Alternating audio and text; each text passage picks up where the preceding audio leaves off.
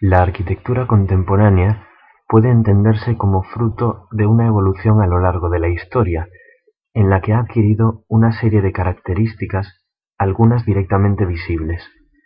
La descomposición de esta casa puede hacerse teniendo en cuenta diversas metodologías. Una de ellas es la de Durand, de la Revolución Industrial, en la que la arquitectura se contempla como una suma de cajas. Las cajas estarían compuestas por paredes, suelo y techo, con variedad de materiales.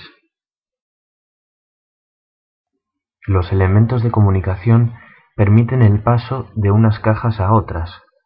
Tiene especial importancia el puente levadizo que comunica las dos zonas en las que se divide el conjunto.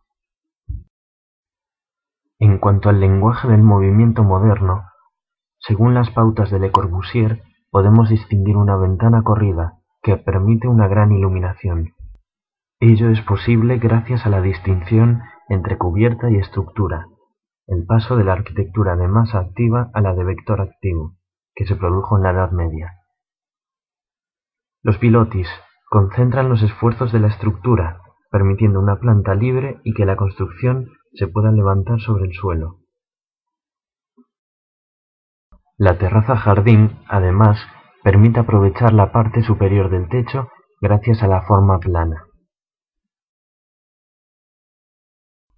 En cuanto a la metodología del movimiento moderno, partiendo de un mínimo existencial, la arquitectura viene determinada por distintos niveles de agregación, con elementos repetitivos y elementos singulares.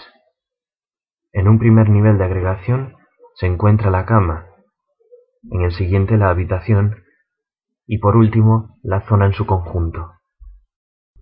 Los elementos singulares permiten diferenciar esta vivienda de cualquier otra.